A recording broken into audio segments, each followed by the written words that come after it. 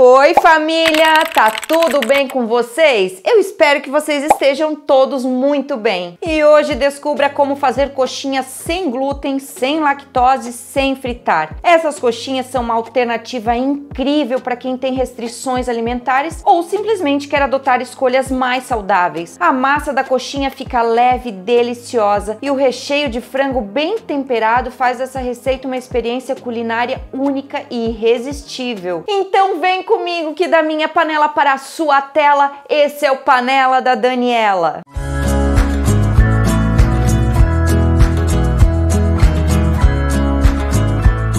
Você quer receber mais receitas saudáveis e deliciosas como essa? Então junte-se à nossa família do Panela da Daniela se inscrevendo agora mesmo no canal e ativando o sininho para não perder nenhuma notificação do YouTube. Bom, para começar a fazer as coxinhas, você vai cozinhar meio quilo de batatas numa panela de pressão com a casca, tá? Lava bem a casca, coloca lá na panela de pressão e cozinha em torno de uns 15 minutinhos, tá? Depois que as batatas estiverem todas bem cozidas lá na panela de pressão, você vai descascar e a gente vai fazer um purezinho de batata. A gente vai amassar as batatas, tá? Eu vou usar o meu amassador de batata, mas se você quiser pôr num liquidificador ou num mixer, pode usar também, tá?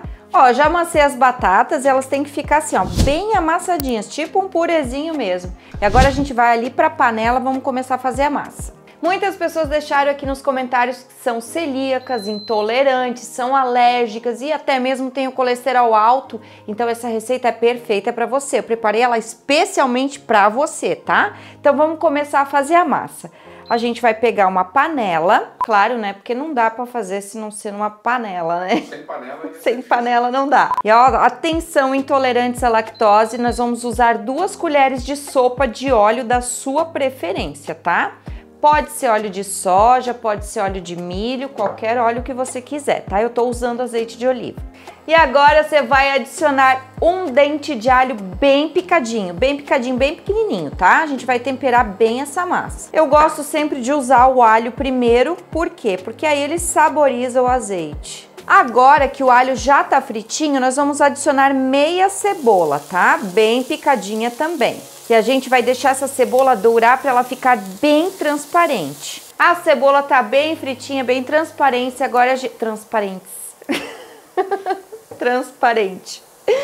E agora a gente vai adicionar a nossa batata amassada, tá? Você já vai adicionar todos os ingredientes logo em seguida, ó. Gente, se vocês quiserem fazer uma receita para mais pessoas, tá? Vocês podem dobrar a receita que também dá certo. Gente, eu adoro usar páprica doce. Pode ser páprica doce ou páprica picante, fica a sua escolha, tá? Então eu vou colocar uma colher de chá de páprica para nossa massa ficar com aquele com aquele gostinho Coradinha. e coradinha, isso mesmo, amor. E nós vamos adicionar uma colher de chá de sal, ou pode ser menos, e a gente já vai adicionar meia xícara de amido de milho. Não pode su- substituir o amido de milho, tá? Tem que fazer desse jeito. Mas calma que eu vou trazer outras receitas para vocês sem amido de milho também aqui pro canal, tá? Então fica ligado. Ó, e a gente já vai mexendo, ó. Você baixa o fogo, você vai mexendo, ó. Não se preocupem que o amido de milho vai cozinhar, tá? Quem acha que o amido vai ficar cru não fica, porque nós vamos cozinhar essa massa por 5 minutos, tá? Ó, vai incorporando bem aqui, ó. Detalhe, em fogo baixo, tá? Não pode ser fogo alto, senão você vai acabar queimando a massa. Ó, você viu que ela tá desgrudando da panela, ó, virou uma massinha, tá?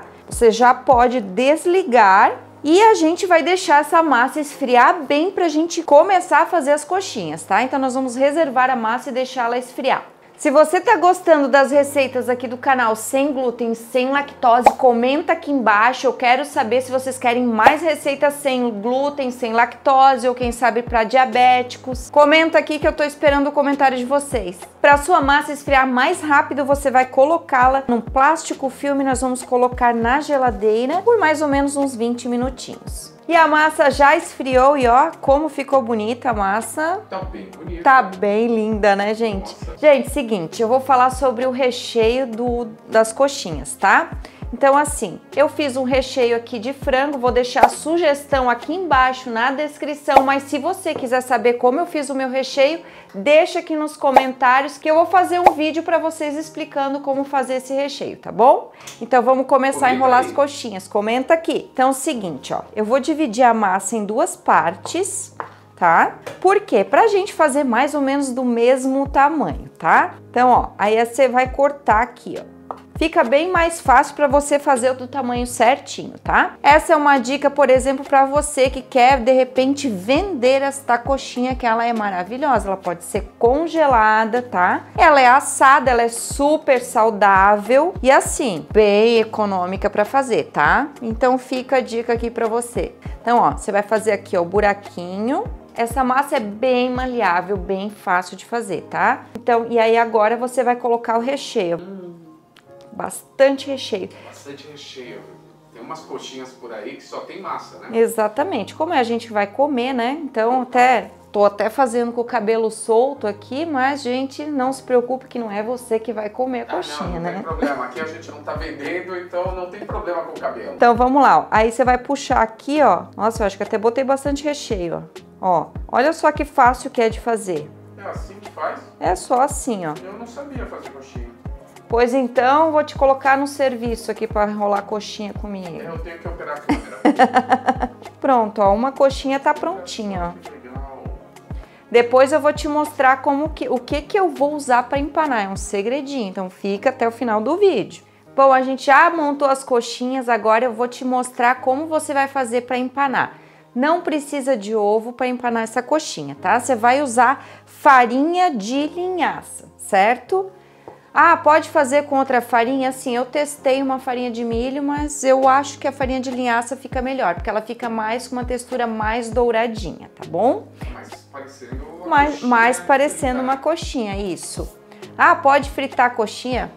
Pode fritar a coxinha também, tá? Mas vamos cuidar da saúde. A ideia é não, né? A ideia é não fritar, dá, dá né? Dá pra comer ela do jeito que tá, assim?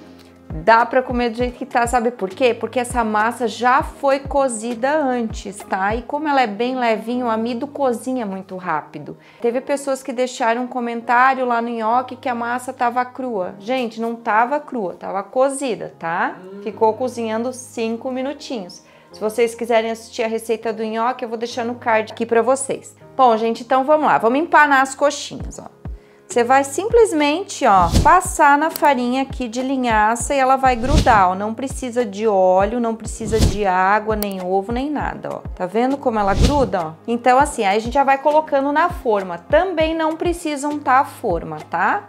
Só colocar ali direto. Mas essa receita é muito fácil, muito boa, é muito saudável. Essa receita é sensacional, gente. Vocês têm que fazer na casa de vocês, depois deixar no, nos comentários aqui. Eu quero saber como ficou.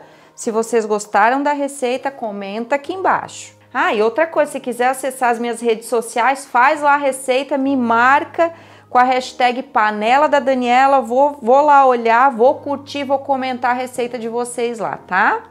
As coxinhas já estão prontas e agora elas vão para o forno. Então, assim, forno pré-aquecido, 180 graus por 10 minutos. Não precisa mais do que isso, tá? Ah, eu não tenho forno, sei lá. Gente, pode fazer na air fryer também, a mesma coisa. Você pré-aquece a air fryer e coloca lá por 10 minutinhos, tá? Então vamos lá colocar no forno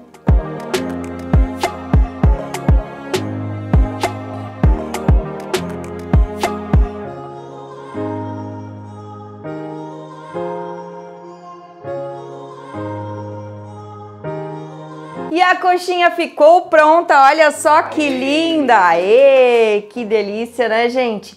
Vale muito a pena você fazer aí na sua casa e deixar aqui nos comentários. Eu quero saber o que, que você achou da coxinha. E por falar em comentários, eu quero deixar um beijo todo especial ao pessoal que comentou na última receita aqui do canal, que é a dona Neuza Maria Garcia sua netinha Luísa, que é o orgulho da vovó. Beijo, Luísa!